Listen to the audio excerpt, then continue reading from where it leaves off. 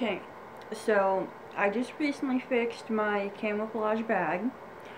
Uh, some of you don't even know I have this or have made this, but I fixed it. The bottom was really wonky and had an L shape on both sides, which I thought about interfacing at the time, and I didn't think about, oh, that kind of has to go in first. Other, you know, otherwise the bag's not going to be right. Anyway, here's the back.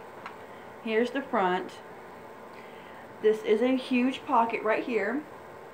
Um, the inside is just the exact same as the outside, just sewn.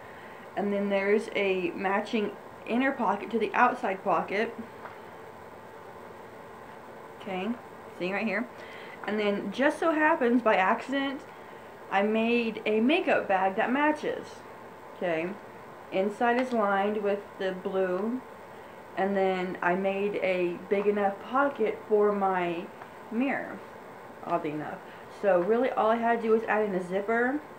And if you see right here, I purposely did this.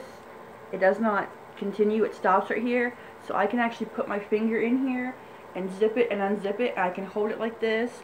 Um, I can also, if it's like lip gloss or eyeliner, I can just slide it in there and go so easy.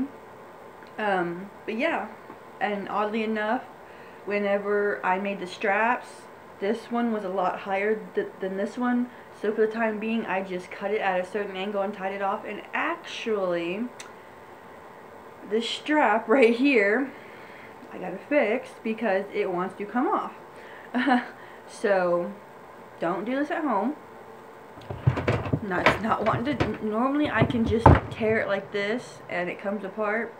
Not in this case, so I take my seam ripper and no, it's not the traditional lobster claw. It's a more versatile um, seam ripper. But for the time being, um, I can always untie it and sew it, but, but for the time being, I'm going to tie it off up here. Uh-oh.